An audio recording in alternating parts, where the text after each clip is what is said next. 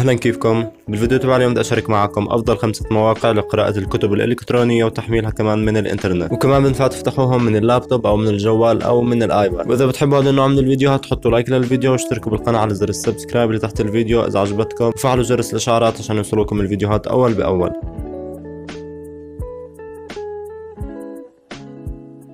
مكتبة النور الإلكترونية من أجمل المواقع واللي أنا بستخدمه دائما. على فكرة يعني بنزل من قلبه أغلب الكتب.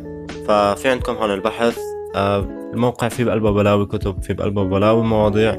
فبالبحث بينفع تكتبوا أي إشي بدكم إياه عشان يطلع لكم مثلا كتاب بتدوروا عليه بتلاقوه كمان بهاي المكتبة. مثل ما أنا لقيت كتابي المفضل مترجم للغة العربية بهذا الموقع فصرت بلاقي بلاوي كتب بالإنجليزية كمان مترجمين بالعربي بهذا الموقع بس تنزلوا تحت شوي بتكبسوا على خيار التحميل وبحمل عندكم الكتاب وبفتح زي أي ملف عادي زي أي ملف PDF عادي. وبنفع عندكم تقرأوا الكتاب تكبروا الشاشة قد ما بدكم والكتاب كمان بيكون كامل وبصورة واضحة.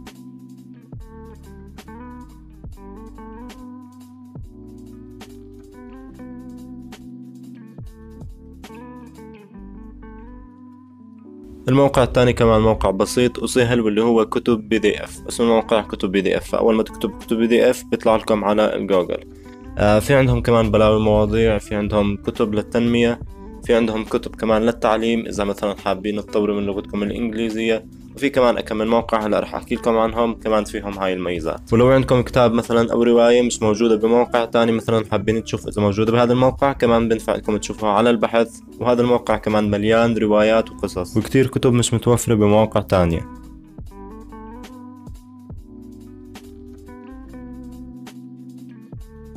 مثل الموقع اللي قبله بتنزلوا لتحت شوي وبتلاقوا خيار التحميل بتضغطوا عليه وبتحملوه بتفتحوه من الملفات تبعون الجهاز.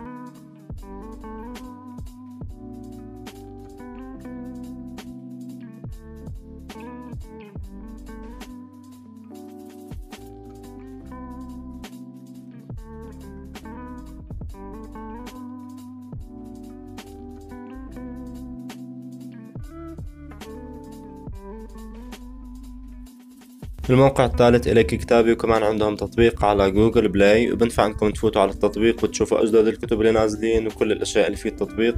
بس أنا بفضل إنه أستخدم الموقع لأنه أساسا مش كل يوم الواحد يحمل كتب. فبحس إنه الموقع أحسن وبنفس الوقت كمان بنفع تستفادوا من هاي الميزة.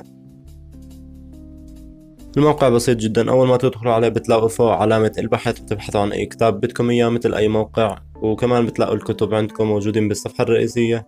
إذا حطيتوا على المزيد بيطلع لكم كمان كتب. وبس أحسن إشي إنكم تكبسوا على الثلاث شحطات اللي فوق عشان يطلع لكم آه، نوعيات تانية من الكتب أو حسب النوعيات اللي أنتم بدكم إياهم. وكمان من أكثر الأشياء اللي بتجنن بالموقع إنه بنفع تقرأوا الكتاب على الإنترنت. مثلا إذا ما حبيتوا تحملوا على جهازكم مثلا ما عندكم مساحة لنفترض بنفع إنكم تقرأوه على الموقع نفسه بنفس الوقت اللي بتكونوا داخلين فيه على الموقع. بس أحسن إنكم تحملوه عشان مثلا يحفظ المكان اللي أنتم وصلتوا له بقراءة الكتاب.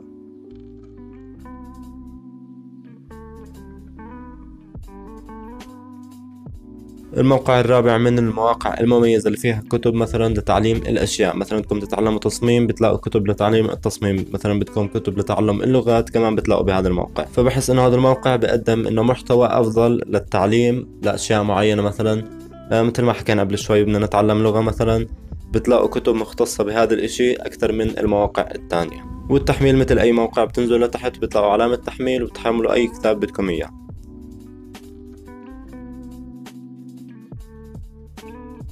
الموقع الخامس والأخير مكتبة الكتب مثل موقع إليك كتابي بينفع أنكم تقرأوا الكتاب على النت وفي بقلبه بلاوي كتب تعليمية. علامة البحث فوق اكبسوا عليها وابحثوا عن أي كتاب بدكم إياه مثل أي موقع تاني. بس بالعادة مش كل المواقع بيكون بقلبهم نفس الكتب فممكن كتاب ما تلاقوه بهذا الموقع بتلاقوه بالموقع الثاني عشان هيك دائما بحكي لكم في علامة بحث بأغلب المواقع.